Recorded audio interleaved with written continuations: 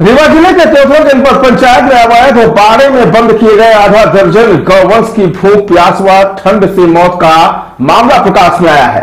Social media में अवैध बाड़े का एक वीडियो भी वायरल हुआ है, जिसमें अवैध बाड़े में बंद किए गए गौवंश के लिए न तो खाने पीने की व्यवस्था की गई और न ही ठंड से बचाने के लिए कोई भी उपाय।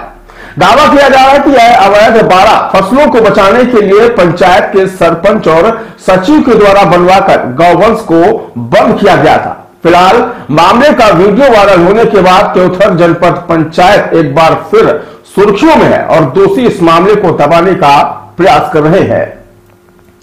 दरअसल वायरल वीडियो त्योथर जनपद पंचायत के पूर्वा मरिराम के कठौली गाँव का है। दावा किया जा रहा है कि गाँव में फ़सलों को बचाने के लिए सरपंच और सचिव ने बाड़ा बनवाकर गौवंश को बंद कर दिया था। लेकिन उनके खाने के लिए ना तो चारे की व्यवस्था की गई और ना ही पीने के लिए पानी की। और तो और, खुले आसमान तले बने बाड़े में गौवंश कड़कड़ाती ठंड के कारण दम तोड़ने को मजबूर हो गए। फ़िलहाल इस वीडियो के वायरल होने के बाद इलाके में हड़कम मच गया है।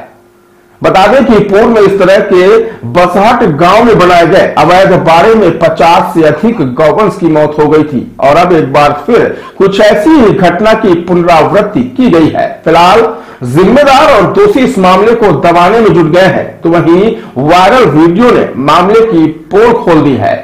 अब देखना होगा कि गौवंश की मौत के बाद दोषियों पर क्या एक्शन होता है।